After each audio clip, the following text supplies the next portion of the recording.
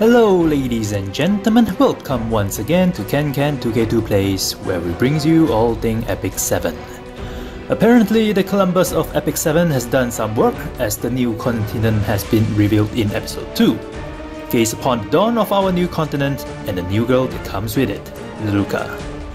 We will be discussing Luluca's skill set, the material needed and where to get them, as well as a discussion on what I think would be suitable for her gearing and the stat of the equipment.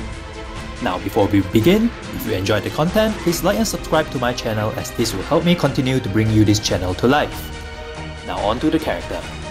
Luluca is an Aquarius Water Mage, so in order to upgrade her skill trees and awakening, you will be needing these materials below. The first one is Order of the Shield Insignia.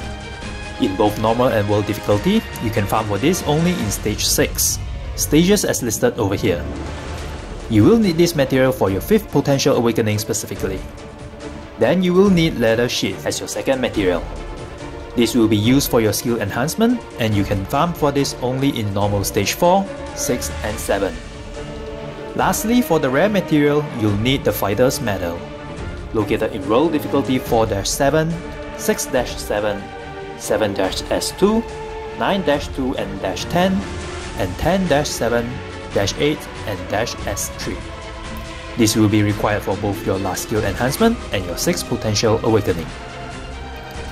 Luluca, in my opinion, is a mage that tries to do the good side of both worlds, but requires very heavily on the setup condition.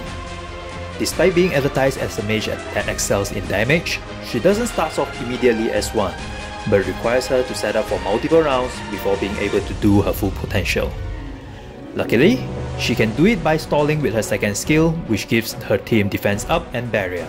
But by being a mage in itself, she doesn't have the innate bulk to take advantage of the buff, so she is still very susceptible to burst damage before going on full power. Let's get on to her skill. Her basic skill is Wild Wave. This is a single target attack with an added bonus effect of dealing more damage the lower the target HP is. When coupled with Defense Break, we can hope to relive the good old days of X-Gods S3. Then comes to her second skill, Rico's Blessing. This is a defensive skill that helps Luluca with her fragility by giving her team 2-turn burial and all defense up. What's special about this skill is it is created with utilizing her own artifact in mind, boasting both a short cooldown and even shorter with Soul Burn.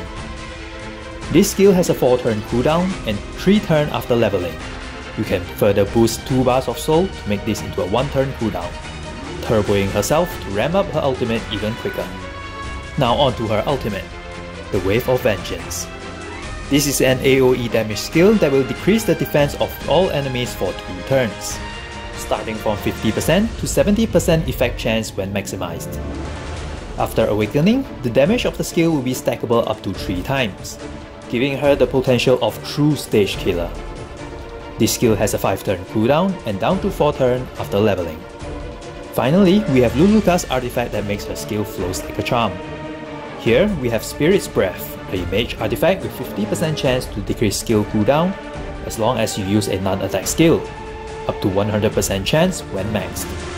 At max level, this artifact gives 195 attack and 702 health to the wearer. What I feel so essential this is to Luluca is because this is an artifact that makes her less wonky.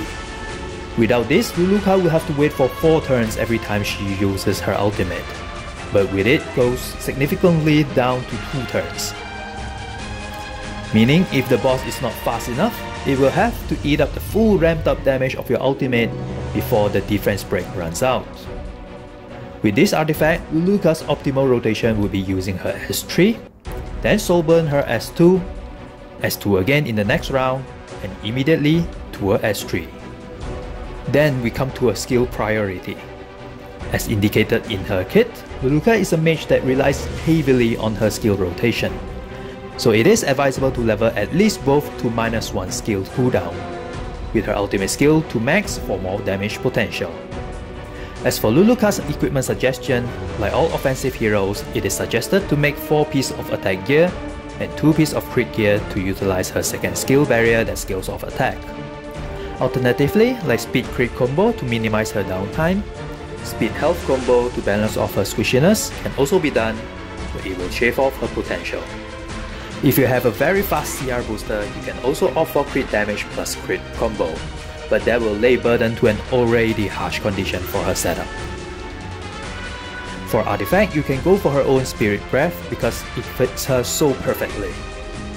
Other than that, Etica's Scepter is also acceptable if you can't get her own artifact.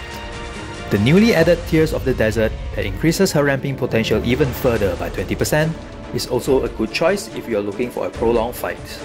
Or if you are looking at survivability, you can also choose Chatty because the barrier granted also scales off her attack like her S2. To me, Luluca is a hero that requires a lot of effort out from you, needing both more investment and a team that builds around her. But despite all that, what she brings to the table is good enough to offset the hard work. Both Defense Break and Defense Up are marvelous addition to the team regardless of the mode you're playing with her. So do brace yourself for a bittersweet relationship with Luluca. And with that comes to an end to the introduction and guide for our new nuke in town, Luluca. Hope you guys enjoyed the show. Don't forget to hit the like and subscribe button. I will see you guys next time. Love you.